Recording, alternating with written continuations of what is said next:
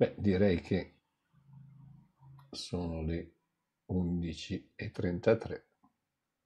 Direi che si può cominciare. Ogni tanto, vabbè, prima abbiamo fatto il primo corso, eccolo qua, ragazzi, una bella lezione sulla quarta via femminile di Jean de Salzman dal suo libro La realtà dell'essere, eccolo qua, mi raccomando, un libro bellissimo. E invece oggi ci occuperemo di tarocchi e evangeloterapia. Bellissimo. Non vedevo l'ora, erano anni che volevo fare questa cosa e sono proprio contento. Allora, intanto per cominciare, sapete che mi piace iniziare con un brano del Vangelo. Ho scelto quello del giorno, quello del giorno, che è Matteo 10,46. Sapete che c'è un Vangelo per ogni giorno dell'anno. E insomma, e ogni volta si trova sempre un riferimento molto bello. E oggi vi leggo questo e vedremo che rapporto c'è tra il Vangelo e i tarocchi. Ah, che meraviglia. Vi ricordate la premessa che vi ho fatto nella presentazione della settimana scorsa? Io non mi occupo di cartomanzia, cioè non giriamo le carte e non è che vi indovino il futuro, no? io non lo faccio, voi siete bravissimi, non lo faccio. A parte che indovinare il vostro futuro non ho proprio bisogno di girare nessuna carta. quando ci incontriamo dal vivo, venite verso di me e il futuro ve lo dico subito. proprio, non è necessario nessuna carta per capire come, come andrete a finire. Sapete che Gesù, quando, beh, io non sono, non sono Gesù, però nel mio piccolo mi difendo. Sapete che Gesù vedeva la gente arrivare e diceva, oh, tu va bene così, tu fai questo, tu fai l'altro, perché era tutto a posto. Un certo giorno disse, qualcuno di voi mi tradirà. Ma come fa a saperlo? Fa? Avrà girato le carte, avrà fatto la vangeloterapia. Immaginate Gesù che scrive in fretta delle frasi perché dice ma queste mi servono perché poi domani magari mi vengono in mente e posso organizzare la, la, la vangeloterapia o la lettura di tarocchi. Quindi io non, non, non giro le carte, fate benissimo a farlo, ma quello che vi voglio insegnare in questo anno di lavoro è con quale spirito girare queste carte, con, qualche, con quale spirito aprire questo Vangelo. Io sono contentissimo della lezione scorsa che abbiamo fatto perché è stata una lezione sull'intuizione e mi sa che tutto l'anno lavoreremo, tutto l'anno, insomma, queste 23 lezioni, lavoreremo su questo eh, perché è importante, è importante questo, altrimenti imparate delle cose, le leggete da qualche parte, ma è sempre copia e incolla, sapete cos'è copia e incolla? Leggete un libro di qualcuno sui tarocchi, poi ne leggete un altro, poi vi fate un'idea, poi in base a ciò che conoscete sulle carte, poi cercate di arrangiarvi, di, di applicare quello che avete imparato, che va benissimo, che non ci siano malcomprensioni, fate bene, siete bravi. Però io voglio fare un altro tipo di lavoro, cioè, cioè un giorno guarderete le nuvole e capirete cosa succede. Ecco, io guardo le nuvole e con tutta la mia intuizione capisco che pioverà. Insomma, si comincia con le cose molto piccole, molto semplici, poi un po' alla volta si va sempre nelle cose più complicate. Allora, se volete chiudere gli occhi, visto che questo è il corso avanzato, quindi qui non si scherza ragazzi, e vi parlo un po' di questo brano del Vangelo, tratto quindi da Marco, capitolo 10, versetto 46 ripeto il Vangelo del giorno. In quel tempo, mentre Gesù partiva da Gerico insieme ai discepoli e a molta folla, il figlio di Timeo, Bartimeo, cieco, sedeva lungo la strada a mendicare.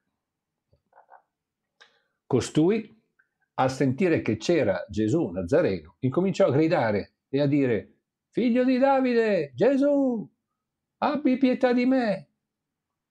E molti lo sgridavano per farlo tacere, ma egli gridava, gridava, gridava sempre più forte, Figlio di Davide, abbi pietà di me. Allora Gesù si fermò e disse, chiamatelo qua.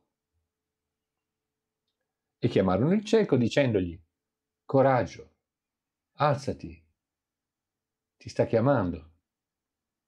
Ed egli, gettato via il mantello, balzò in piedi e venne da Gesù. E allora Gesù gli disse, che cosa vuoi che io ti faccia? E il cieco disse a lui, Maestro, fa che io riabbia la vista. E Gesù gli disse, vai, la tua fede ti ha salvato. E subito riacquistò la vista e prese a seguirlo per la strada.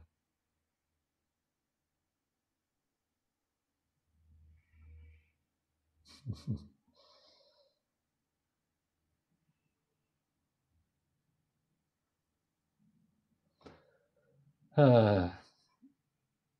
E cosa ci può insegnare? Eh? Questo, questo, brano a caso, oggi così. Il Vangelo del giorno, vi svegliate la mattina, io penso che abbiate già questa abitudine, eh? ogni tanto aprite il Vangelo del giorno e dite, ma chissà che, che cosa mi presenta oggi la giornata in base a questo, questa lettura. Oppure girate una carta di tarocchi e dite, ah, vediamo un po' oggi cosa succede cosa ci può insegnare questa, questa storiella, cosa è importante? E quale rapporto può avere, perché Vangelo e Tarocchi sono in, in stretta connessione, strettissima connessione, sono entrambi messaggi che arrivano dal mondo spirituale, forse è necessario dire qualche parola, forse sì. I tarocchi sono degli arcani, si chiamano così. E gli arcani sono qualcosa che esiste come impulso spirituale. Gli impulsi spirituali sono ciò che creano l'universo, sono ciò che passa attraverso di noi. Noi siamo permeati di impulsi spirituali, sia che ce ne rendiamo conto, sia che molto spesso non ce ne rendiamo affatto conto. Noi siamo creati e manipolati in un certo senso, anche nel senso più alto del termine, da questi principi spirituali. Sono loro che agiscono attraverso di noi. E guardate che voi siete un corso avanzato, voi dovreste, dovreste già familiarizzarvi con questo tipo di linguaggio, vedete. I principi spirituali passano attraverso di noi e passano anche attraverso dei simboli, degli archetipi o degli arcani. Ciò vuol dire che alcune figure sono state messe in atto da qualcuno che aveva la vista aperta sui mondi spirituali e che ha condensato in un'immagine qualcosa che potesse risvegliare all'interno del nostro mondo delle immagini che, come vi dicevo prima, non devono essere necessariamente riferite a un copia e incolla del passato. Cercate di capire questo punto perché è importante. Voi studiate la carta del bagatto. Oggi, oggi lavoriamo sulla carta del bagatto. Eccolo qua, la vedremo insieme. Ma quindi questo è un arcano. Arcano è importante, è qualcosa che arriva direttamente dal cielo. È come un principio spirituale, è come quando Gesù dice pensi di avere occhi per vedere ma non vedi, è un principio spirituale, passa attraverso di me, non sono io che inventa queste cose, è qualcosa che esiste, cioè l'essere umano è un essere dormiente. Oh, bene, bene, bene. E allora ecco qua che questo principio spirituale passa attraverso di me, il mio compito è quello di riconoscerlo questo si chiama ricerca interiore, ricerca di consapevolezza, riconoscere questo principio spirituale e viverlo. Ma vedete, all'inizio si vive, tutto questo si vive con grande preoccupazione. Seguitemi bene perché adesso facciamo, adesso cerchiamo di capire bene come funziona questo mondo. Lo viviamo con molta preoccupazione. E cioè, caspita, però vivo in un mondo faticoso, sono spesso nella sofferenza, nella frustrazione, a volte rischio di qualche momento di depressione, comunque di dolore, gli altri non mi capiscono, io non capisco gli altri, questo è il nostro mondo e per un lungo periodo di tempo noi lo viviamo con grande sofferenza e non abbiamo quella determinazione di toglierci istantaneamente. Vedete, con la logica spirituale, che è il sistema di pensiero che usiamo noi, che cerco di insegnarvi oramai da anni, non facciamo più un lavoro di, di sezionamento delle nostre piccole difficoltà quotidiane, ma facciamo un lavoro di spostamento di paradigma esistenziale, cioè ci spostiamo su un altro piano.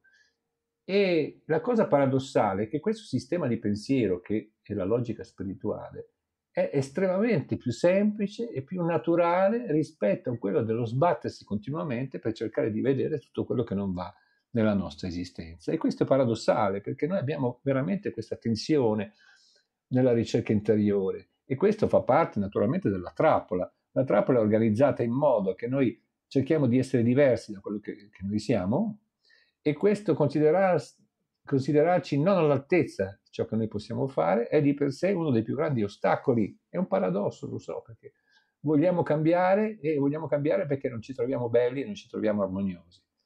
Però all'inizio bisogna comprendere che questo sistema è estremamente più faticoso e molto spesso non porta a nulla. In realtà l'approccio cardiaco è un sistema molto semplice di pensiero e cosa ci ricorda questo? Ci ricorda questo cieco. Questo cieco non fa cose strane, ma sente parlare del Nazareno che passa e incomincia a gridare non è che dice ma sarà però che devo fare qualche cosa, incomincia a gridare eh, Signore, Signore, aiutami, cosa dice? Figlio di Davide, abbi pietà di me, va bellissimo, grida, grida. E gli altri dicono, ma guardate il mondo, vedete il mondo, no, ma non gridare, non sta bene, no, poi diciamo, non disturbare il maestro. Molto spesso i discepoli dicono, ma non disturbate il maestro che ha da fare, insomma, cosa fate? Eh, e lui dice lasciate che i bambini vengano a me, loro dicono no, no, perché i bambini ti disturbano maestro, sempre sempre i suoi discepoli si preoccupano per lui e lui, lui ogni volta li smentisce e questo qua comincia a gridare e, e, allora gli altri dicono ma non gridare, ma cosa gridi? Immaginate che qualcuno si alzi a gridare. E se questa invece fosse la soluzione? Eh? Questo alzarsi improvvisamente e mollare tutto. Guardate, il cieco si alza, cioè grida, grida. Allora gli dicono non gridare, lui grida, grida di nuovo. E allora Gesù gli dice, chiamato, cosa fa lui? E gli dicono, coraggio, alzati, ti chiama egli gettato via il mantello. Questo è un poveraccio morto di fame che è lì per terra che chiede la carità. Non ha niente, non ha nulla, non, a quei tempi non c'era, non c'era, niente. Era lì per terra a sperare che qualcuno gli, gli desse qualche cosa per poter sopravvivere. Improvvisamente prende questa forza incredibile, butta via il mantello. Cosa vuol dire basta, basta? E infatti Gesù gli dice la tua fede ti ha salvato perché ha, ha questo entusiasmo che, che è quello che noi dovremmo applicare applicare nella ricerca interiore, toglierci dalle balle questo spezzo di pesantezza. E la carta del bagatto, qual è la prima cosa che ci, che ci mostra? È questo bel giovanotto che muove con grande delicatezza delle cose in mano, guardate, in mano non so, non so cosa sia, perché poi interpretare quei piccoli pezzetti non è che sia così importante quei piccoli pezzetti, però sembrerebbe di essere un giocatore di dadi magari è una delle tre carte, magari è un napoletano che sta facendo le tre carte, chi lo sa. Però che cosa si nota? Che mentre sta armeggiando con, con questi utensili, in realtà guarda da un'altra parte e ha un'espressione assolutamente serena. Serena, cioè non, il, il senso del, di questa carta è la serenità, la calma con cui noi possiamo affrontare la ricerca interiore. E calma non vuol dire che poi uno non possa gridare, eh? ma è avere quella determinazione che ci porta diritti alla meta. Signore, so che tu mi puoi guidare. E come mai Gesù dice, ah, la tua fede ti ha salvato? Che cos'è questa fede? Questa fede è passare oltre le, tutti i vari orpelli, no? Anche se il bagato ha un sacco di orpelli sul tavolo, bene, lui passa oltre, guarda oltre, è pronto a un altro tipo di lavoro, è pieno in, in, in, un, in un momento di grande serenità, vedete? È, è la carta questa che ci indica, l'arcano meglio così, che ci indica la facilità, la serenità con cui noi possiamo affrontare la ricerca interiore. E parleremo di questo tutt'oggi, quindi con calma. C'è un altro brano del Vangelo che io vi volevo leggere e che mi sembra importante. Guardate che faremo molto questo lavoro meditativo, eh? voi lo sapete, eh? quindi abituatevi perché vi leggerò spesso il Vangelo, si chiama Vangeloterapia, quindi abituatevi, quindi in un certo senso state aiutando una persona, vi salta fuori eh, la carta del, del, bagatto oppure questo brano del Vangelo, beh, una piccola idea cominciate a averla, naturalmente la svilupperemo in questa lezione, però caspita, ma che bello uno che si alza. È come dire, una persona mi dice, ma io sono in un momento di difficoltà, ho questi problemi, queste cose, non, non mi mio, mio marito non mi capisce, il lavoro dei problemi, gli dicono queste cose. Poi salta fuori questo brano del Vangelo e tu gli dici, ma caspita, grida e grida quello che vuoi e la vita te lo darà. Ora potrebbe sembrare assolutamente folle e razionale, però potrebbe anche essere una buona indicazione. Forse quella persona è proprio in quel momento particolare, Gesù sa riconoscere sa riconoscere qual è il momento particolare. E guarda caso, appena guarisce il cieco, questo cieco cosa fa? Che cosa fa? Lo segue, se ne sbatte, se ha una famiglia, una moglie, una casa, non ha più niente, ha buttato via il mantello, non ha più niente, ci vede e ci vede non solo dal punto di vista terrestre, ma ci vede soprattutto da un punto di vista spirituale. Sempre quando Gesù eh, guarisce dei ciechi, anche nel caso del cieco nato, ci si accorge che quella persona era pronta per essere miracolato, perché in realtà mancava pochissimo. Era pronta, sapete quante volte vi ho detto che le entità di luce non possono aiutare gli esseri umani andando oltre il loro libero arbitrio, questo ve l'ho spiegato tante volte. Ma quando voi siete pronti, voi tendete la mano, questo, questo cieco che grida e che ha fede, perché la fede poi, la fede è quel passo, quel gesto che voi fate verso Gesù, che voi fate verso il mondo spirituale. Allora il mondo spirituale vi, vi risponde. E questo gesto deve essere fatto con una, con una calma interiore che fuori può essere la manifestazione di qualsiasi cosa, ma deve essere quel, quel senso di, di bellezza e di calma interiore. Vi leggo adesso un brano tratto da Giovanni, sapete che Giovanni era il discepolo prediletto, eh. colui che appoggiava la sua testa sulle spalle e sul cuore di Gesù. Oh, che meraviglia, ragazzi. Chi di noi non vorrebbe essere a questo punto di manifestazione, avere Gesù vicino, che ci accoglie come discepoli, già, già, che ci chiama in qualche modo e che ci dà un compito fondamentale, vedete? dà un, compito a tutti i discepoli è quello di, di dire dai, andate a manifestare la buona novella, andate nei paesi e ricordate alle persone che esiste un metodo di risveglio, che è quello dell'insegnamento evangelico. E a Giovanni no, a Giovanni è tutto un altro mondo. Sapete che l'anno prossimo, in giugno, farò un lavoro in profondità di dieci giorni quasi sul Vangelo esoterico e profondo di Giovanni, eh? perché Giovanni era il discepolo diverso e noi adesso stiamo lavorando con Giovanni l'Evangelista. È finito il tempo, possiamo dire, di Pietro, l'organizzatore della Chiesa, perché dal punto di vista esoterico, cioè esterno, la Chiesa si combina, poi si scombina anche, perché come sapete le forze oscure cercano di prendere possesso in ogni modo, a loro modo, profondamente, di qualsiasi tentativo degli esseri umani di abitare nei mondi spirituali, di non essere più di questo mondo. E fanno qualsiasi cosa, quindi cercano di impadronirsi delle strutture, di questo possono farlo. Possono entrare nelle strutture in qualche modo e distruggere, deteriorarle dall'interno. Non sto parlando dei tempi attuali, ma insomma, poi ognuno di voi veda quello che è in grado di vedere, però questo è il lavoro oscuro.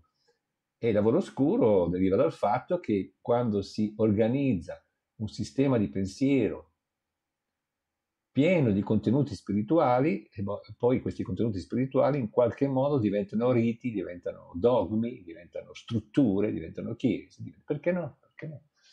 Perché questo era il periodo della chiesa di Pietro. Tu sei Pietro e su questa pietra appoggerò la mia chiesa. Va benissimo, doveva andare così. Ma Gesù sapeva benissimo che tutto questo lavoro esoterico, questo lavoro esterno, andava, era perfetto per gli esseri umani che avevano bisogno di qualcosa in cui credere, non c'era la possibilità ancora di avere un contatto personale, intimo, profondo, come voi avete. Guardate che fortuna, che privilegio che avete. Ma a quell'epoca non c'era questa possibilità. Queste persone avevano bisogno di eh, delle carte da leggere, avevano bisogno di, di qualcosa da vedere, qualcosa da, da sognare, avevano bisogno di parabole, di, di, qualcosa che raccontasse loro delle storie. Ma oggi noi abbiamo questo grande privilegio, questa grande opportunità di andare oltre quei, quei pezzetti, quei dadi che ci sono sul tavolo del bagatto, ma entrare nel mondo della semplicità, della naturalezza nei confronti del mondo spirituale. Vedete? E noi stiamo passando dalla Chiesa, in senso più alto del termine, naturalmente, di Pietro, quindi l'organizzazione esteriore, con le sue carte da leggere, eh? Con il suo Vangelo da leggere, perché no? Ma stiamo entrando nel, nel tempo della Chiesa di Giovanni, cioè la Chiesa della preparazione interiore, noi ci stiamo preparando interiormente, in realtà poi dal punto di vista esteriore che facciano quello che vogliono, che cambino le cose, cambino le preghiere, cambino i testi, che facciano un po' quello che gli pare. Noi adesso incominciamo a vivere in un altro mondo, noi lo speriamo che sia così e spero che voi mi diate una mano, questo è un corso avanzato, quindi dovete darmi una mano in questo lavoro, a cambiare proprio l'impostazione della ricerca interiore, e che deve essere proprio la preparazione a, al fatto che il Cristo ritornerà. Ora, a mio parere, a parere di tanti pensatori, in realtà non se n'è mai andato, ma non importa, non giochiamo sulle parole, però ritornerà nel senso che ritornerà a splendere nei nostri cuori e noi ritorneremo, o perlomeno incominceremo a percepire la cristianità, la luce, la saggezza, la via, la verità, la vita, come dice Gesù di se stesso, nel nostro cuore. Guardate che siamo pronti per fare questo. E vi voglio proprio comunicare questi principi spirituali, farvi diventare dei manifestanti, dei propagatori della buona novella dal punto di vista della via, cioè della determinazione con cui voi vi muovete in questo pianeta, della verità, della vita, insomma, dobbiamo diventare dei manifestanti della vita, essere pieni di meraviglia. Ecco, questo un po', anche questa meraviglia è un po' quell'espressione ingenua e naturale che ha il bagato, no? Questa, che guarda da un'altra parte, fa le cose con grande naturalezza e questo vi lo voglio proprio insegnare quest'anno. Poi ci sono tante carte da vedere sicuramente, però il lavoro su di sé può diventare come respirare. Nutritevi dei principi spirituali fino a quando non ci dovete più pensare e allora potete occuparvi di altro, potete vivere. Ecco, mentre vivete esprimete i principi spirituali, ma questa è una cosa che vedremo poi in seguito. Quindi questo è un pensiero tratto da Giovanni, quindi volevo leggere, sapete che faremo un lavoro meditativo, quindi chiudete gli occhi e ascoltate bene questo pensiero, perché se volete fare Vangeloterapia, poi arriverà un momento nel quale vi capiterà forse questo brano e questo brano potrà illuminarvi interiormente, perché questo è il nostro obiettivo di quest'anno, e fare in modo che qualcosa parli attraverso di voi, chissà se ci riusciamo, che non siate più degli esseri umani copia e incolla, ma che possiate avere il coraggio profondo di lasciarvi andare, di interpretare la vita nell'improvvisazione più assoluta, nell'improvvisazione più assoluta. Ogni istante siete nuovi e guardate il mondo con occhi nuovi e ascoltate le suppliche, le preghiere e le richieste di aiuto delle persone che si rivolgeranno a voi in un modo completamente nuovo e guarderete quelle persone in un modo completamente nuovo. Sembra un'utopia e invece ce la possiamo fare. Ascoltate questo pensiero. Giovanni, capitolo 3, versetto 1. Ascoltate bene. Eh?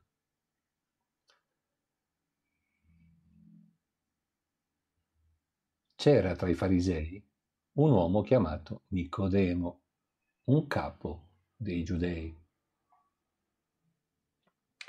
Egli andò da Gesù di notte e gli disse, Maestro, sappiamo che sei venuto da Dio. Nessuno infatti può fare i segni che tu fai se Dio non è con lui. Gli rispose Gesù, in verità, in verità ti dico, se uno non rinasce dall'alto, non può vedere il regno di Dio. Gli disse Nicodemo, ma come può un uomo nascere quando è vecchio? Può forse entrare una seconda volta nel grembo di sua madre e rinascere? Gli rispose Gesù, in verità, in verità ti dico, se uno non nasce da acqua e da spirito, non può entrare nel regno di Dio. Quello che è nato dalla carne è carne e quello che è nato dallo spirito è spirito. Non ti meravigliare se ti ho detto dovete rinascere dall'alto. Il vento soffia dove vuole e ne senti la voce, ma non sai da dove viene e dove va. Così è di chiunque è nato dallo Spirito.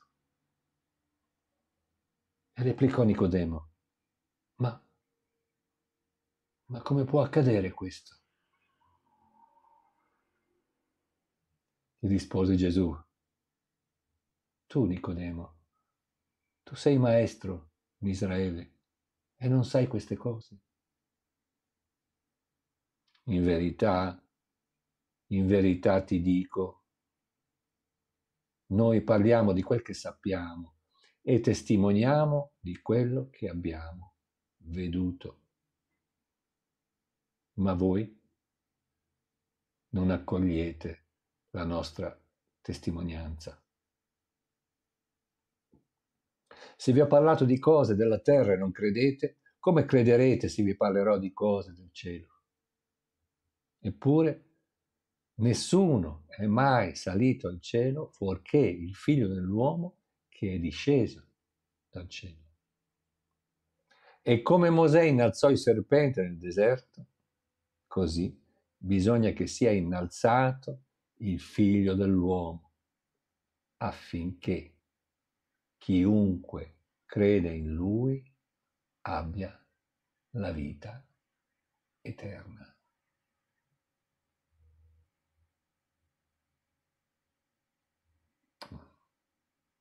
Mm, anche questo Vangelo di Giovanni, ragazzi.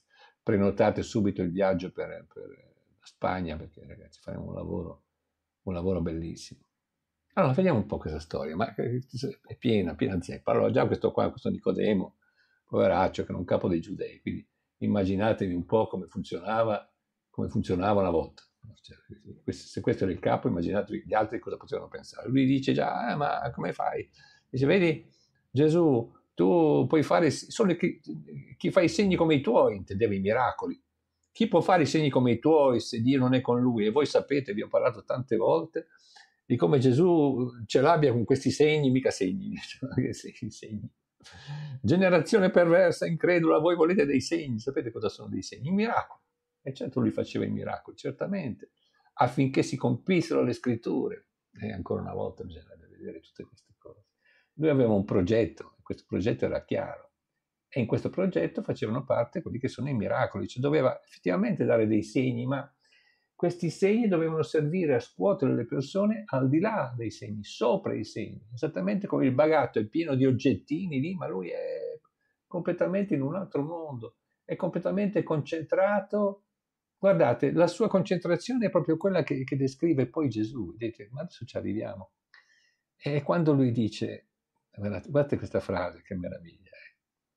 Allora, guardate la carta del bagatto, guardate gli occhi di questo ragazzo qua e ascoltate questa frase. Il vento soffia dove vuole e ne senti la voce, ma non sai da dove viene e dove va. Così è chiunque è nato dallo spirito. Il bagatto è nato al mondo spirituale. Ve la rilego e cercate di vedere il nesso Mm. Allora, il vento soffia dove vuole e ne senti la voce, è vero, ma non sai né da dove viene né dove va. Cercate di prendere questa frase in senso spirituale, di ricerca interiore. Siete in grado di fare questa ricerca interiore, di portare avanti questa ricerca interiore, ben sapendo che non sapete né da che parte arriva né dove, dove dovete andare? Ma per dove dobbiamo andare? Da che parte dobbiamo andare? Diceva Totò, eh? che, che ci insegnava a suo modo questi passi del Vangelo. Siete in grado di, di iniziare un lavoro su di sé, di una ricerca interiore, senza continuamente smadonnare all'interno del vostro mondo, io vorrei essere così, questo, questo senso di, che è tipico della personalità, che è una trappola della personalità, non essere mai contenti di quello che si è, voler sempre forzare le cose, voler sempre essere diversi da quello che si è. E questo è uno dei più grossi ostacoli alla ricerca interiore, forse è per questo che la carta numero uno ci implica la naturalezza, la spontaneità e la serenità di un giovane che fa le cose, che muove questi oggetti con grande naturalezza e con grande semplicità. Allora immaginatevi adesso che voi state facendo una ricerca interiore e la state facendo, se no non sareste qua. Adesso prendete questa frase, eh? se vi capiterà di leggere nella Vangeloterapia questa frase, prendetela su di voi, portatela dentro al vostro mondo, abbiate il coraggio di fare questo e vedrete che vi darà un sacco di spunti, di riflessioni, senza doverle cercare per forza in qualcosa che voi avete conosciuto, avete copiato e incollato. Sentite che bello. Allora, Immaginate che state facendo un lavoro su voi stessi e lo state facendo e guardate questa frase come funziona dentro di voi. Il vento soffia dove vuole e ne senti la voce, ma non sai né dove viene né dove va. Cosa vuol dire? Questo vento che cos'è? Sono questi principi spirituali che passano attraverso di te, te ne rendi conto, non puoi più far finta che non sia così. Puoi fare mille cose per cercare di dimenticarti di te stesso, ma in realtà poi la tua la tua vera essenza rinasce sempre, sempre lì c'è qualcosa che passa attraverso di te, il vento soffia dove vuole, è qualcosa che passa attraverso di te e tu ne senti la voce, perché tu sei qua oggi e tu sai che è così, tu sai che c'è qualcosa nel tuo cuore che funziona, che si esprime, c'è questo impulso alla vita, alla verità, alla, alla bellezza, all'armonia, c'è qualcosa che vive attraverso di te, lo percepisci anche adesso. Ma da dove viene questa cosa? Dove va questa cosa? Perché sei sempre preoccupato di, di dove viene, dove va questa forza qua, quando invece sai che la tua felicità, la tua serenità deriva dall'atteggiamento del bagato, in cui incominci a muovere le cose nel tuo mondo, le cose incominciano ad essere mosse in base a dei principi spirituali e scompaiono tutte le preoccupazioni, i, i fraintendimenti, i, i problemi quotidiani che non esistono, è un po' alla volta, un po' alla volta, forse non da un giorno all'altro, anche se il brano, il brano che abbiamo letto dice proprio da un giorno all'altro, paf, ti alzi e gridi Gesù, Gesù, Gesù, abbi pietà di me, accidenti, che meraviglia, questa determinazione assoluta. E allora Gesù che ha dichiarato che è sempre lì con noi, poi arriva e ti fa esattamente quello che, di cui hai bisogno. E di cosa hai bisogno tu? Di vedere. Eh? Te ne accorgi? Hai bisogno di vedere arriva e ti ridà la vista. E da quel momento, con grande facilità, ti liberi dal mantello che un po', come San Francesco ha fatto, che si è liberato dai suoi vestiti, non è così? E se lo segui subito.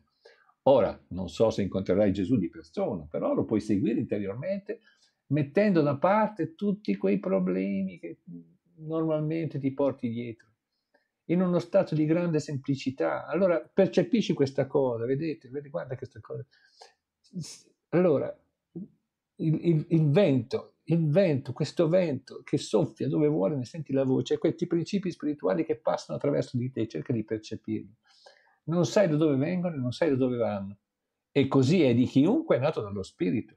Riesci ad accettare che ci sono delle cose che non capisci e paradossalmente, paradossalmente, paradossalmente, quando riesce a uscire da questo tentativo del mondo del mentale inferiore di impadronirsi assolutamente di ogni concetto spirituale, manifestandolo nel copia e incolla di qualcosa che vuoi imparare, tu vuoi imparare perché così ne tieni conto, poi eh, la persona ti chiede mi leggi tarocchi tu sai, hai conosciuto, lo fai, lo giri in un modo e, e di fianco, di destra e sinistra, bene, allora ti so dire, ma va benissimo, fate bene a fare così, però in questo lavoro che faremo insieme, chissà se riuscite a liberarvi da, da questa angoscia, perché è un'angoscia, insomma, avere, appartenere al mondo del passato, perché quando appartieni al mondo del passato stai parlando con la persona che ti sta chiedendo aiuto, stiamo parlando di terapie comunque, in base a dei criteri che sono sicuramente vecchi. Accetta questa cosa, perché il vento che sta soffiando attraverso di te non è lo stesso vento che soffiava ieri. Però ci vuole molto coraggio a fare questa cosa, bisogna alzarsi in piedi, gridare, gridare. E Gesù riconosce la fede e la fede è quella cosa, ancora una volta, che ti permette di girare delle carte e di lasciarti ispirare in uno stato di completa improvvisazione spirituale. Intuizione e ispirazione spirituale, ce la possiamo fare ma bisogna avere coraggio, coraggio perché, perché, funzioniamo con dei criteri di pensiero, guardate che è un corso avanzato questo, quindi vi permetto di parlarvi così, avere il coraggio di restare in silenzio interiormente, di, di affrontare il mondo in un modo nuovo, con quel, quell'atteggiamento interiore, Allora, ancora una volta, perché insisto su questo, perché se non percepite, dobbiamo fare un lavoro di partecipazione profonda, se no sono ancora delle storie che vi racconto e poi va sempre a finire nello stesso modo. Adesso vi ripeto questa cosa, chiudete gli occhi un attimo e dovete percepire questa frase come se veramente fosse un tutt'uno con ciò che c'è di reale in voi, qualcosa che passa attraverso di te, non del tuo vicino di casa. Chiudi gli occhi e ascolta bene. In verità, in verità ti dico, se uno non nasce da acqua e da spirito, non può entrare nel regno dei cieli. E senti Moezzin che canta le lodi al Signore. E il cane, ma che bello, senti senti che meraviglia. Ma senti che bello. Da questa parte c'è il Muezzin che canta le lodi sul minareto, è in alto nel minareto e canta. Lo sentite? E di qua c'è il cane, che risponde. Oh, senti che roba. Uh! A suo modo il cane, il cane sta anche lui innalzando le lodi al Signore. Ma che bello. E in questa ricchezza esteriore, insomma, voi pensate che ci sono persone invece che, che arrivano qua e dicono, eh ma cavolo, ma c'è, c'è, il muezzin che canta alle 5 del mattino, è meraviglioso. Io quando sento il muezzin che canta alle 5 del mattino mi ricorda che tutti quanti noi siamo su questo pianeta per cantare le lodi del Signore. E invece c'è chi è lì che dice, eh, ma io non riesco a dormire, questo qua mi rompe le balle perché cosa canta, non possono cantare più piano. No, questi devono urlare perché, perché a Gesù piacciono le persone che urlano, come, come il cieco che, che, che, urla, che dice Gesù ti occupi di me sì o no, hai pietà di me sì o no, fantastico, a gridare le lodi al Signore e noi invece no. Beh, insomma, è il cane che risponde. Allora, in questo contesto di grande ricchezza, per questa ricchezza, cioè, poi venite qua, dormite e dite, ah, ma il cane alla mattina alle 5 canta con il muezzin del minareto, canta... e voi dite, eh, non, poi non ho più preso sonno, certo che siete una, una manica di mezze seghe pazzesche, ma come siete organizzati? Ma? ma siete sempre in tempo per dare una svolta, voi con i vostri integratori, con i vostri vitamini, con le vostre cose del cavolo, che vita di merda che fate. Ma ragazzi miei, ma è l'atteggiamento esistenziale e questo non lo posso mangiare, questo non posso bere, questo mi dà fastidio, questo sono allergico, questo mi dà... Cioè, eh, porco, porco ragazzi. Ma in realtà tutto questo accade affinché voi vi svegliate interiormente. No, invece no, voi, voi dite, ah, perché io dormo solo quando le finestre sono chiuse nel buio più assoluto, se c'è un po' di luce mi sveglio. Cosa ti ha fatto la luce? Ma come? Ma se sono 40 anni che lavori su te stessa e che adesso che, che stai cercando la luce, poi quando entra un po' di luce dici non riesco più a dormire. che manica di mezze seghe pazzesche. Ah, però quando sento il mio vicino di casa che scoreggia, allora poi non riesco più a dormire. Madonna, ma ragazzi, ma la semplicità dove è andata a finire? Vi siete talmente complicati che addirittura il vostro sistema psicofisico si organizza per inventarvi delle cose perché così dite, così non vi svegliate mai rimanete sempre in uno stato di catalessi, però dite, eh, ma è normale perché se io mangio un po' di... di... cos'è che mangiate voi? Il tofu, mangiate il tofu, una roba pazzesca. Dice, eh, se ho mangiato troppo tofu e ho il mio stomaco che urla, eh, lo stomaco urla, ma dovresti urlare tu, non il tuo stomaco. Ma signore mio, ma questa, la carta de, del bagaglio ci insegna un po' questa cosa qua la semplicità nell'esistenza. Poi muovete quello che volete, ma con grande, con grande maestria, maestria. Non continuamente lamentandovi. Se il bagatto fosse un lamentoso, guarderebbe le sue cose e direbbe, oddio, speriamo che nessuno mi tocchi niente. Oddio, se questo mi cade dalle mani, guardate con che delicatezza ha questo oggetto, che sembra proprio, sembra proprio appeso in aria, e guarda da un'altra parte. È così che funziona perché esiste la meccanicità a livello terrestre che ci fa ricordare a malapena quale chiave dobbiamo mettere nella serratura, insomma ci fa ricordare qualche appuntamento, sì, ma questa è veramente meccanicità terrestre. Poi c'è il mettere in atto un, un sistema di comprensione che diventa anch'esso semplice. I principi spirituali ve ne potete nutrire e poi non li dovete più cercare, perché sono sempre lì con voi, ma all'interno dovete incominciare a nutrire questa calma, questa serenità, questo silenzio, volete restare un po' in silenzio, volete smettere di lamentarvi, dice ma lì da te fa troppo caldo, poi in Italia fa troppo freddo. Eh, signore mio, e poi siete per strada, ci sono 30 gradi, poi entrate in un centro commerciale, ce ne sono 15, e dite, ah, quando entro in un centro commerciale mi ammalo. Uh, per andare a comprare un pacchetto di, di, di caramelle dovete mettervi tre pigiami.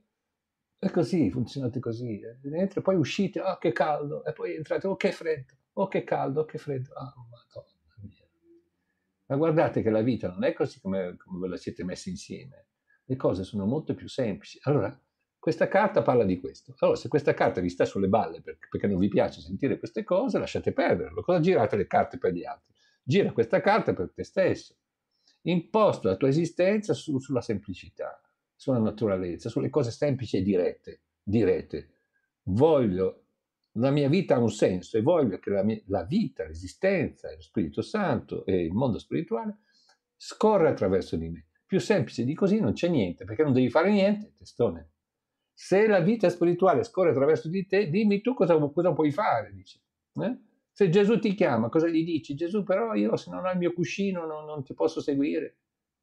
Ma che mondo, ma ma come vi siete organizzati? Se non ho le mie medicine, se non ho i miei integratori, ma che cavolo di vita vi, vi siete organizzati? E questo si riflette, voi dite, ma cosa c'entra questo sulla ricerca spirituale? C'entra, perché se, se, avete, siete pieni di, di, cose che non vanno, è che da qualche parte è così, da qualche parte questa energia spirituale che non sai da dove viene, non sai dove va e dovresti lasciarla scorrere, da qualche parte la fermi da qualche parte. Allora non puoi più mangiare questo, non puoi più mangiare l'altro, non puoi più... Questo qua c'è un profumo che non ti piace o, o uno, un cibo che non è una cosa, una situazione, e l'aereo, prende l'aereo. Ma è stanco, sono stanco, l'aereo è un viaggio lungo, poi io soffro di vertigine. Ma madonna ragazzi, ma, ma che vita.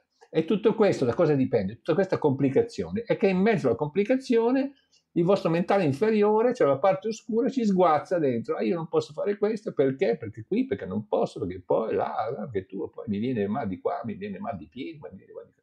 Porco, dico porco, porco, porco. Allora, volete girare questa carta? Quando qualcuno vi chiede aiuto, voi girate il bagatto, e il bagatto, cavolo, lo guardate negli occhi e, e gli dite rilassati. ma prima dovete dirlo a voi stessi, se no come cavolo, cosa cavolo volete leggere queste carte?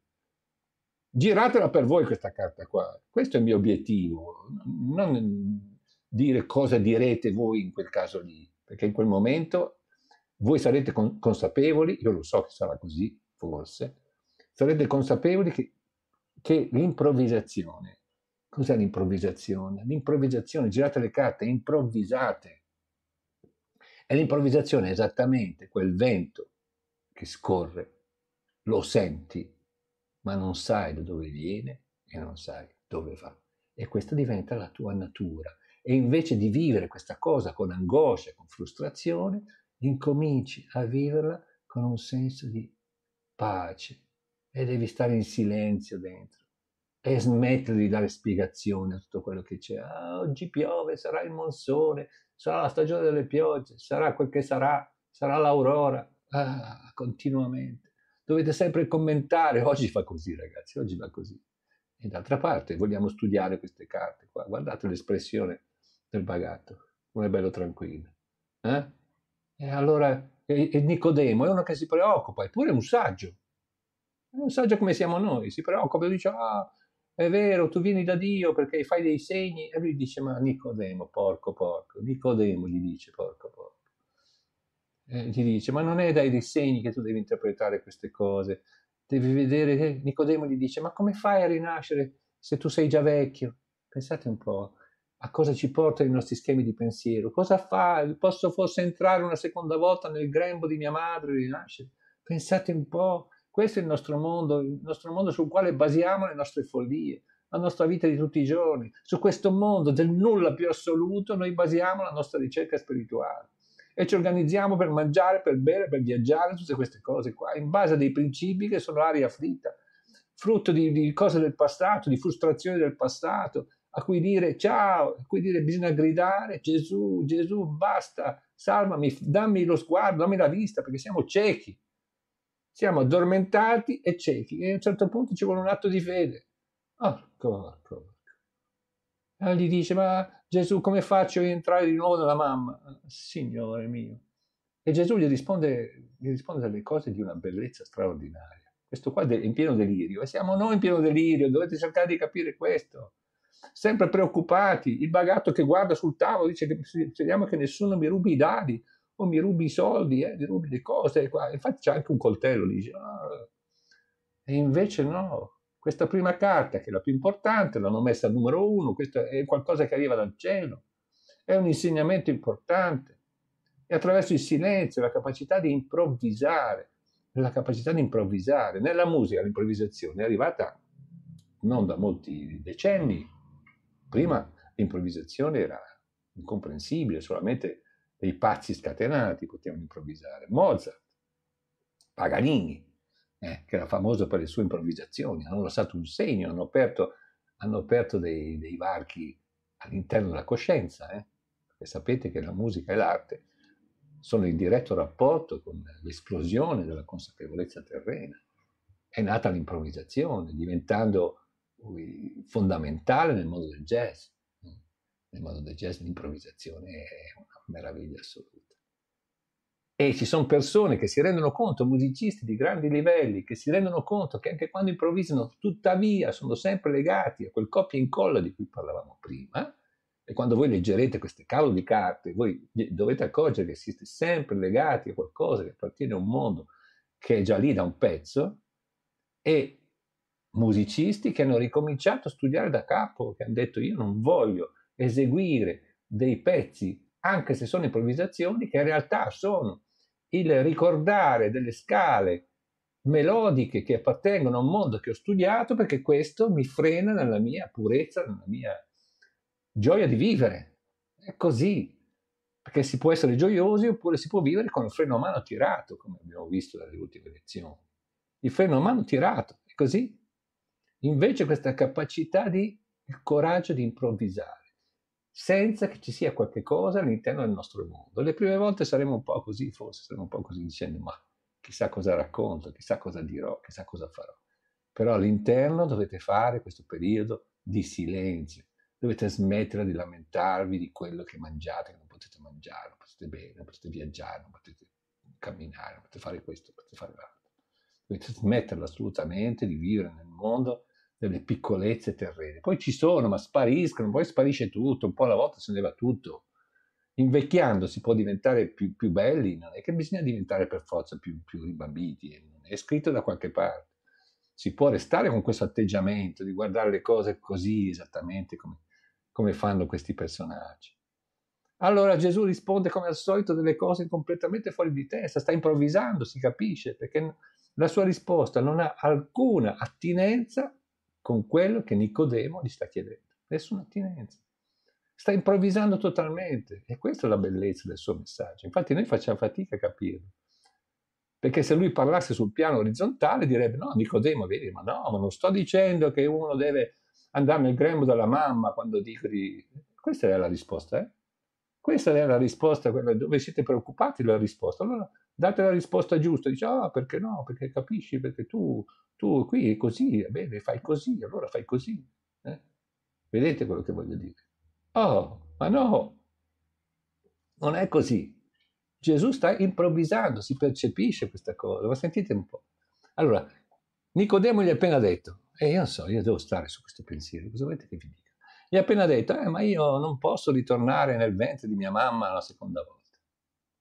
E lui risponde, in verità, in verità ti dico, se uno non nasce da acqua e da spirito, non può entrare nel regno di Dio. Fermiamoci su questa frase. Fermiamoci su questa frase. E voi dite, io lo so come siete fatti voi. Se uno non nasce da acqua e da spirito, vi dite, ah, l'acqua, perché so come fa. L'acqua è il rapporto alle emozioni. Oh, lo spirito è il rapporto al fuoco. Oh, perché l'avete studiato da qualche parte, testoni, testoni. Che è giusto, che è vero. Però vedete come siete, vedete il copia e incolla, perché allora perché Gesù dice, sta dicendo che allora uno deve nascere dall'acqua, cioè dalle emozioni, dallo spirito, dal fuoco, altrimenti non potete entrare nel regno di Dio. Ma avete il coraggio ogni tanto di lasciar perdere quello che avete imparato da qualche parte e rilassarvi interiormente, stare in quello stato di silenzio e piuttosto stare zitti, piuttosto che sparare delle cose che sono sempre le stesse. Che adesso tutti commentano, tutti allo stesso modo, tutto un copia e incolla generale che non si sa neanche da dove arriva, tutta un'interpretazione che sono fatte tutte uguali. Nel mondo della ricerca interiore adesso ci sono delle banalità mostruose, dicono tutti le stesse cose, credendo di fare dei discorsi intelligenti, credendo di dire delle cose, delle cose importanti. Ah, perché adesso, adesso, è un periodo che mi dicono, ah, perché il mondo New Age ha rovinato tutto, i luoghi comuni delle cose. Ma cosa ne sapete del mondo New Age? Non, non vi rendete conto che fa parte del gioco oscuro, della propaganda oscura, quella di rendere tutto un, un minestrone pazzesco. E voi pensate di essere spirituali dicendo ah, mondo New Age, il mondo New Age. Ma io l'ho vissuto il mondo New Age, ho contribuito a crearlo questo mondo New Age. Era una meraviglia, fino a quando non è stato ha, ha mangiato dalle forze oscure. E allora voi guardate solo alla fine, dice, eh, ma perché il mondo New Age? Ma il mondo New Age ti ha salvato la vita, testone, testa di rapa, che non sei altro. Perché quando eravamo con i capelli lunghi, eh, hippie, e dicevamo eh, non, non, i cannoni, ma mettete dei fiori nei vostri cannoni, che era una famosa canzone. Ma era bellissima questa cosa. Poi voi, chissà dove eravate, poi i vostri genitori che ci guardavano, io mi ricordo quando avevo i capelli lunghi, mi gridavano per strada, va a lavorare, va a lavorare, eh, ho capito, va a lavorare, ho capito, va bene. Perché? Perché mi vestivo a colori e potete ben immaginare con i capelli lunghi fino al sedere. E allora, eh, va a lavorare, eh, va bene, ho capito. E tu dove eri? Tu non eri ancora nato, ma non è che sei fuori da sta cosa, perché sei il figlio di quelli va a lavorare. E allora poi un po' alla volta, e mi ricordo, c'erano delle persone straordinarie, poi un po' alla volta qualcuno è diventato un politico, è diventato un rimbambito, rincoglionito, completo, e non faccio nomi, ma persone che facevano parte del mondo studentesco, del mondo della rivoluzione. E allora cosa c'entra sta New Age? Cosa ha rovinato la New Age? Ma cosa ne sai? sono dei cliché che dite, che continuate a ripetere senza rendervi conto di, di che cosa c'è dietro. E quando mi dicono la New Age, no, io dico, no, no, io guardo, io, io sono uno della New Age, poi non capiscono niente, perché poi è inutile rispondere sullo stesso piano. Perché quando dice delle banalità, qualche giorno fa una, una ragazza intelligente comunque, sa che mi occupo di cose spirituali, mi dice, ma tu ci credi alla reincarnazione? ma io ho passato la mia vita a far svegliare le persone sul fatto che credere o non credere in qualche cosa non ha senso. Ma poi capisco, sono domande che le persone fanno ed è giusto che le facciano così, però le persone non si rendono conto, pensano di esprimere qualche cosa che faccia parte di una ricerca spirituale, in realtà è tutto un minestrone, è tutto un copia e incolla, senza senso, e questo è il gioco del mondo oscuro. Allora, come si esce da questo gioco del mondo oscuro? Con la carta del bagato. Tu giri la carta e hai davanti qualcuno da aiutare e gli dice esci dal mondo oscuro, ritrova la semplicità, ritrova la, natu- naturalezza, ritrova la capacità di improvvisare, che è alla base della lettura del Vangelo, alla base del tuo tarocchi. All'inizio avrei un po' paura di fare una figura di, di cavolo, perché dici, boh, se sto in silenzio cosa dico? Ma devi avere il coraggio di provarci per dieci volte, cento volte, non sarai un po' in confusione, poi finalmente, se tu veramente ti credi, se, se veramente gridi a Gesù, se veramente gridi che vuoi avere la vista, cosa posso fare per te? Ti dice Gesù, voglio vedere, voglio vedere, porco porco. E allora, guardate che meraviglia. Gesù cosa dice? Non ti meravigliare se ti ho detto dovete rinascere dall'alto. Pensa che delicatezza. Voi dovete rispondere così alle persone, improvvisando e queste frasi verranno attraverso di voi, vedete? Non tali e quali, ma insomma il senso delle vostre cose, perché dentro di voi c'è tutta la ricchezza dell'universo, così in alto così in basso. Imparate dalle frasi di Gesù a improvvisare, a sentire questa forza, a sentire questo principio spirituale che passa attraverso di voi. Ma non è una meraviglia questo?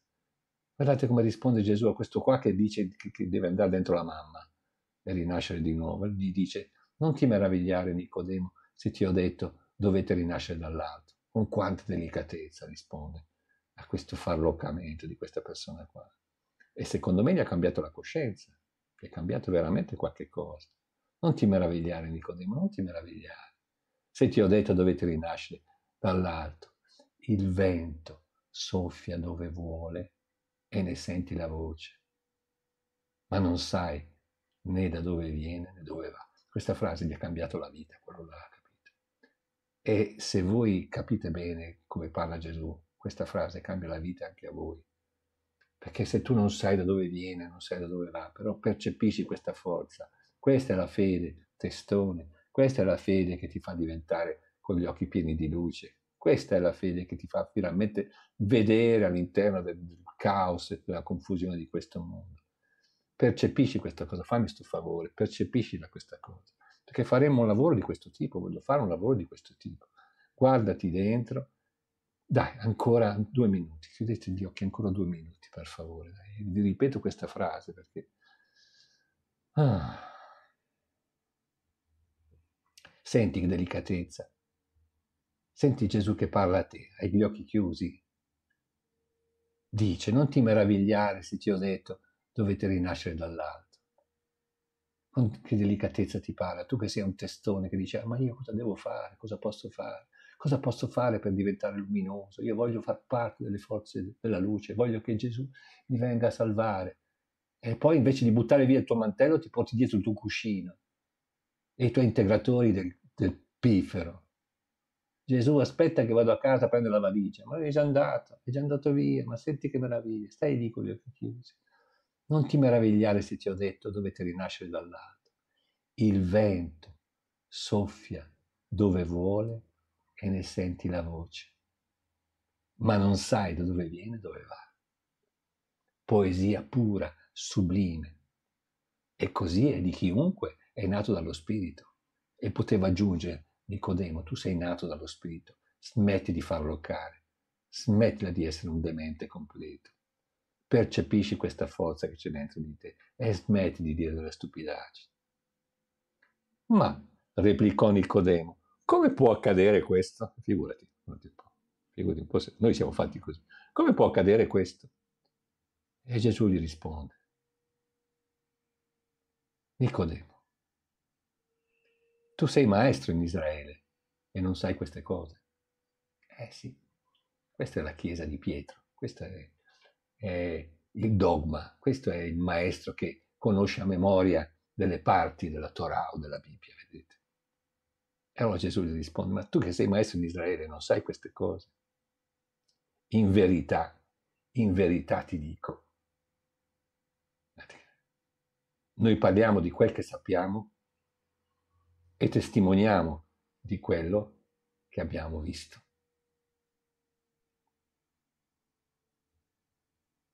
ma voi non accogliete la nostra testimonianza. Se vi ho parlato di cose della terra e non credete, come crederete se vi parlerò delle cose del cielo? Eppure nessuno è mai salito al cielo fuorché il figlio dell'uomo che è disceso dal cielo. E qui una bella analogia per finire, l'analogia, la forza dell'analogia, accidenti a Cipicchia.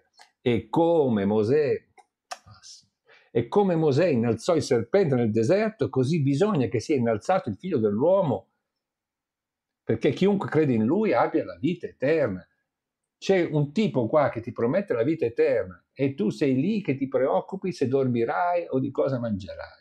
E questo ti promette la vita eterna. Tu dici, sì, però, Signore, tu mi prometti la vita eterna, ma è troppo la vita eterna, Signore, è troppa la vita eterna, la vita eterna, no, mi basta stare un po' meglio, magari digerire un po' di più, sì, perché magari così c'è un po', eh, grattarmi un po' di meno sotto, sotto il sedere o sotto i piedi, non so.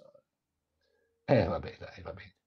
Allora, allora, cosa c'è? Cos'è questo, questo, questo bagatto qua? Cos'è questo bagatto qua?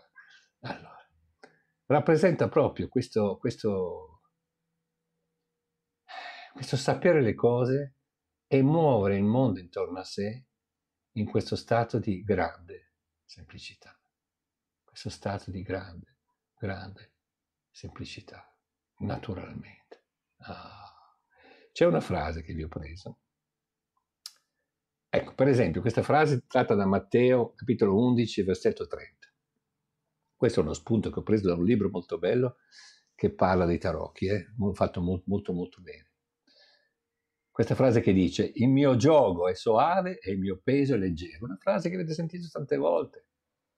Trasformare le vicissitudini dell'esistenza in un gioco, in un gioco, per poter entrare nel regno dei cieli. Questo è il bagatto. Quando voi girate la carta, c'è qualcuno che vi chiede, mi leggi tarocchi, voi girate la carta e dite, caspita, la vita è un gioco. Però dovete avere quel sorriso, quella, quella quella serenità interiore che deve essere contagiosa. Se siete delle mezze seghe, potete girare le carte fino a quando volete e testimoniate il vostro essere delle mezze seghe e come potete aiutare l'altro. Dovete manifestare voi prima di tutto questo, questo gioco è soave, questo peso è soave. E insiste Gesù su questo, è soave, e il mio peso è leggero, il peso è leggero. Quando capiremo questa cosa, ecco cos'è il bagatto, ecco cos'è la vangeloterapia, ma vivetelo questo, questa leggerezza, insomma, senza preoccupazioni, interpretando quello che la vita vi dà come una benedizione, qualsiasi cosa accada. È questo che faremo quest'anno. Io vorrei lavorare su questo, se no, se no, di farvi diventare più leggeri interiormente. E lo potete fare, e, e basta. Con. Vabbè, questo vi ho già rotto le scatole. Dice lo yoga, e vi dicevo questa frase, l'ho presa da un libro sui tarocchi molto, molto bello, uno Yoga Sutra dice la yoga è la soppressione dei vacillamenti della sostanza mentale. Ma oh, che bello, ve lo rilego lo yoga è la soppressione dei vacillamenti nella sostanza mentale e quindi l'arte della concentrazione nella calma e nel silenzio senza sforzo. No, ma non è bello tutto questo? Ecco cosa ci indica la carta, questa carta di tarot, che è la prima e quando voi, voi, capite questo, poi potete incominciare a leggere le altre, se no le altre diventano tutte le menate, ancora una volta copia e incolla. Ma vediamo un altro particolare, visto che non ci resta molto tempo. Questo famoso cappello, eh? questo camo- famoso cappello che è il simbolo dell'infinito. Ma è una meraviglia questo cappello, io ne voglio uno così, un cappello così, che se mi sbaglio a farlo sembra Napoleone invece che... È il simbolo dell'infinito. Allora, quante volte vi ho parlato di nutrire il sentimento dell'infinito nel vostro cuore, che vi cambia completamente tutto, che i problemi esistenziali... Come potete avere un, un problema esistenziale oggi se lo inserite in un contesto di un milione di anni? Cosa sarà da un milione di anni dei problemi che ho oggi? Ma cosa sarà Ora mi devo occupare delle cose, ma non preoccupare, certamente. Se ho dei problemi, li guardo, li guardo e li risolvo, certamente. A volte anche gridando, come fa il cieco che chiama Gesù, bisogna a volte gridare, a volte buttare il mantello, a volte seguire la via spirituale. Seguite la via spirituale, arrivederci grazie, arrivederci. Capito? Ma quante volte ho insistito su questo infinito nel cuore, che arriva contemporaneamente al coraggio di improvvisare allora il vostro cuore, che normalmente è chiuso in una scatola dove vedete le cose così che sono fatte così, questo è fatto così, questo è fatto così, da qui non posso uscire, da qui... Voi guardate tutto il mondo all'interno di, di un guscio, beh, abbiamo parlato tante volte di questa cosa. E il senso di infinito, quanto è importante svilupparlo nel proprio cuore. Vedere le cose lontane nel tempo. Ricordo di avervi insegnato tante volte che, nella, ricordate il cerchio della, dell'evoluzione il cerchio dell'evoluzione, Dio, io e le forze che si esprimono, questo cammino che fa l'anima verso l'evoluzione e la completezza di sé. Ora vedo questo, questo simbolo dappertutto. Le persone non sanno da dove arriva questo, questa interpretazione dei principi spirituali, però bene, bene, benissimo, insomma. Tantissimi insegnanti lo usano, usano ancora, tuttora, questi simboli. È meraviglia, che sono simboli, sono arcani anch'essi, il cerchio con una freccia che corre, che ci indica. E quante volte vi ho detto, se volete capire il futuro, dovete imparare a interpretare il passato dal punto di vista del, della ricerca spirituale. Allora potete leggere il futuro. Perché ciò che è accaduto in un passato, allo stesso modo, lo potete ritrovare nel futuro. Quindi potete leggere ciò che accadrà. Che meraviglia. Sempre in base a questa ricerca di sé. Però Se vi guardate dentro, e dovete guardarvi dentro perché le risposte esistenziali sono dentro, boh, dovete avere questa forza. E questa forza deriva dalla qualità del silenzio, perché l'intelligenza del cuore, che vi piaccia o non vi piaccia, si esprime esclusivamente all'interno di un mondo silenzioso. E questa cosa è difficile da mandare giù. E perché è difficile da mandare giù? Perché tutta la vita avete continuato a investigare nei mondi spirituali facendo dei grandi discorsi, che vanno fatti, cosa sto facendo io adesso con voi? Anche Gesù rispondeva alle domande, però è, è, un altro, è un'altra cosa, è un altro mondo. Eh? Allora l'infinito, questo, questo essere ha sul capo l'infinito. Sapete che l'infinito può essere L'infinito in realtà l'abbiamo sempre messo nelle emozioni superiori, in realtà non è un'emozione, il senso di infinito, è un principio spirituale, appartiene quindi al mondo del mentale superiore, per quello che è diventato un cappello. È perché ci sono dei principi spirituali che si manifestano come emozioni, la tenerezza, l'affetto, la compassione, non c'è dubbio che partano da un atteggiamento cardiaco. Poi ci sono dei principi spirituali, come la giustizia per esempio, come la bellezza per certi aspetti, come l'infinito o l'eternità, per esempio, che appartengono al mondo del mentale superiore. E verso questo mondo stiamo andando, lentamente, ma ci stiamo andando, dove percepiremo tutto quanto al di fuori di quegli schemi di pensiero che abbiamo avuto per milioni di anni. E adesso siamo ancora imbevuti da questi schemi di pensiero. E questi schemi di pensiero ci tolgono dal mondo reale e ci riempiono di fastidi interiori, di fastidi per tutto quello che succede. Siamo sempre infastiditi da qualcosa che succede a destra e a sinistra continuamente. Allora, in quest'anno di lavoro insieme, cercheremo di, di lavorare sul silenzio interiore. Ce la fate? Ce la farete? Quante volte ve l'ho detta questa cosa e poi vi sento sempre parlare, sempre, sempre allo stesso modo. Ce la farete, un po' di silenzio di smettere di commentare tutto quello che, eh, tutto quello che parcheggia qui, parcheggia là, continuamente, continuamente commentare tutto quanto. Sarebbe meglio che tu parcheggi di qui, questa macchina qui la devi mettere là, questa macchina là la devi mettere lì, continuamente, continuamente, e stare in uno stato di silenzio meditativo. E un po' alla volta passeremo a questo stato di coscienza e manca ancora poco. E adesso vi volevo leggere un altro brano del Vangelo, così, eh, così vi fate una bella cultura, un bel background, da cui poi potrete finalmente improvvisare, va bene? Manca qualche minuto, quindi ancora una volta ascoltate questa parabola.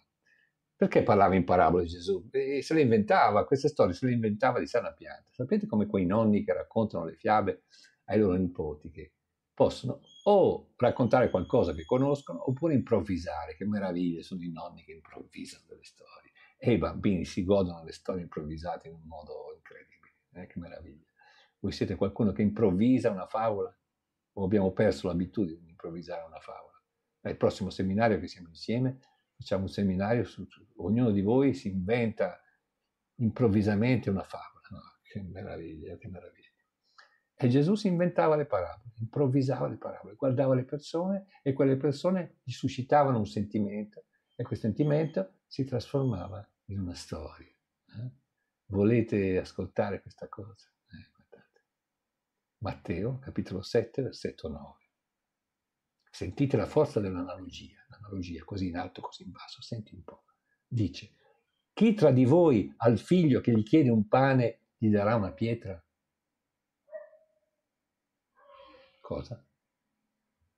Chi tra di voi al figlio che gli chiede un pane darà una pietra?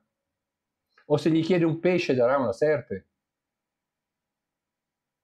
Se voi dunque che siete cattivi sapete dare cose buone ai vostri figli, quanto più il Padre vostro che è nei cieli darà cose buone a quelli che gliele domandano.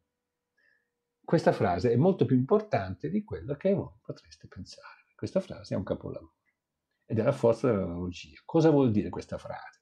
Vuol dire che non esiste niente in questo universo che non abbia un rapporto con il tutto, con il tutto. Ogni cosa che accade in un punto dell'universo ha il suo corrispettivo in tutto l'universo. È così, L'analogia è una forza così in alto, così in basso. Aspetta che ve l'avevo scritta in latino. No. Dopo che ci lasciamo ve la leggo in latino, non so più dove l'ho messa. Ma questa frase è molto semplice, ma se tu che sei cattivo, se che sei una testa di rapa, al tuo bambino che ti chiede un, un pane, non gli mica gli dai una pietra. Questa cosa dite voi, beh, ho capito, e allora? Allora, per l'analogia, perché non esiste niente che tu fai che non abbia un corrispettivo nel mondo spirituale. È una realtà, questa è una verità, non è un'opinione, è una verità.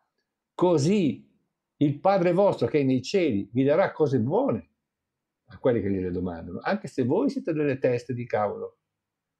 Allora, la vedete la forza dell'analogia? Non so, a me piace tanto. Vediamo se riesco a trovare. Mi ero scritto una frase in latino, che la devo leggere. Eccola qua.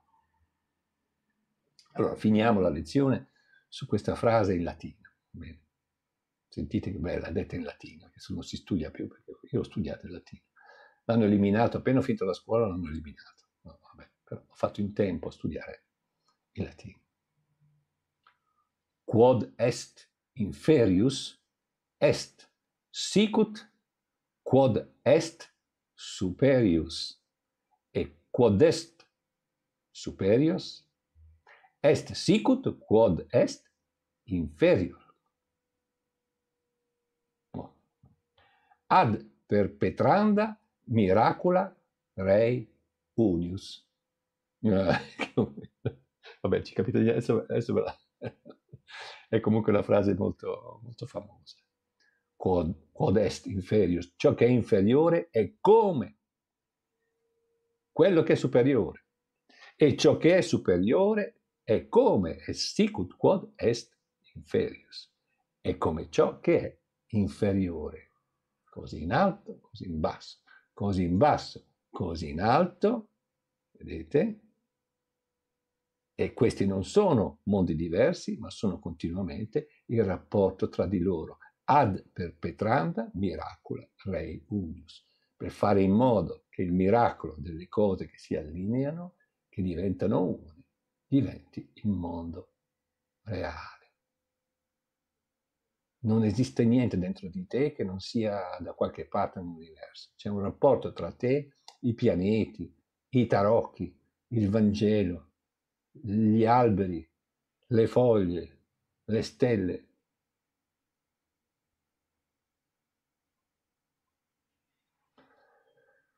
Bene ragazzi, grazie a tutti per questa domenica insieme e, e buona settimana. Va bene? Mi raccomando, eh.